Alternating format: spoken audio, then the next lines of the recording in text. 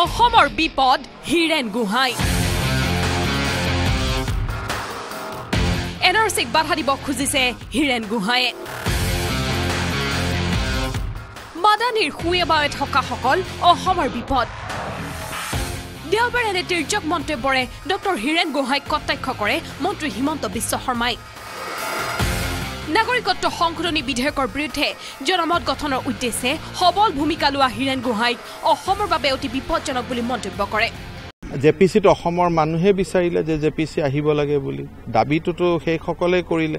এই পাৰ্টিটোৱে বিচাৰিছে যাতে এন আৰ চিৰ আগত অসম অশান্ত হয় আৰু এন আৰ চিখনৰ ভাল কৰি স্কুটিনি নহয়।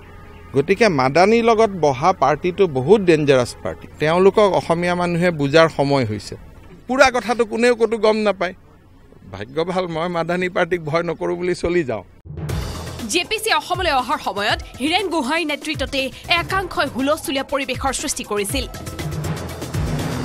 হিমন্ত বিশ্ব শৰ্মাৰ ঘোষণা এই ক্ষেত্ৰত তেওঁৰ লগত মুকলি বিতৰ্ক হলে হাৰি যাব ডক্টৰ হীৰেণ গোহাঁই।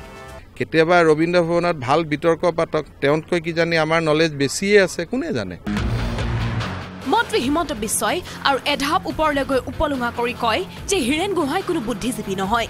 তেওঁলোকতকৈ ভাল বুদ্ধিজীৱী অসমত আছে। সেয়ে তেখেতক যদি ছাৰ বুলি কয় তেন্তে হিমন্ত বিশ্ব শৰ্মাকো মাতিব লাগে হেনো ছাৰ বুলি। মাদানী পাৰ্টীৰ নামৰ আগতো ছাৰ ছাৰ লগাই দিয়ে। আমাকো ছাৰ ক'ব লাগে। এজন কৈছে মাদানী পাৰ্টীৰ মানুহ এজন বোলে এওঁ বহুত ডাঙৰ বুদ্ধিজীৱী। কেমেৰাত প্ৰভা সিঙৰ সৈতে Biren Kumar Deka News Eighteen Assam North East.